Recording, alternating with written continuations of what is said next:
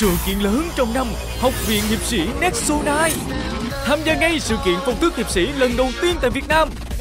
Dấn thân vào cuộc chiến tiêu diệt quái vật trên máy tính bảng với game Block 2.0 Trải nghiệm công nghệ 3D thực tế ảo hiện đại nhất hiện nay. Chiêm ngưỡng các hiệp sĩ khổng lồ bằng gạch Lego. Và còn nhiều hoạt động cùng quà tặng hấp dẫn khác. Tham gia ngay tại thành phố Hồ Chí Minh và Hà Nội từ ngày 13 tháng 5 tới ngày 5 tháng 6